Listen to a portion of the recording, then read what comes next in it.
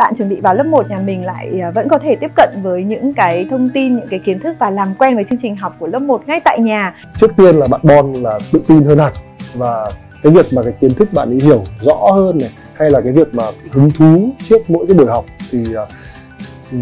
khiến cho cái việc học bạn Bon bạn ấy hào hứng hơn rất là nhiều. Muốn phụ huynh mình là chủ động hơn để cho con tự giác hơn thì tôi khuyên các bậc phụ huynh là chúng ta nên chọn trang học mãi để cho con mình học tập mà bổ sung kiến thức.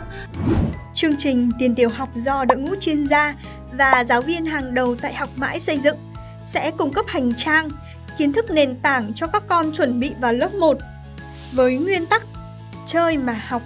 học mà chơi. Chương trình giúp các con tiếp thu kiến thức một cách tự nhiên thông qua các hoạt động thực hành, đố vui,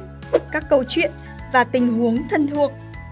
Với 9 chủ đề cùng 66 video bài giảng của hai môn toán, tiếng Việt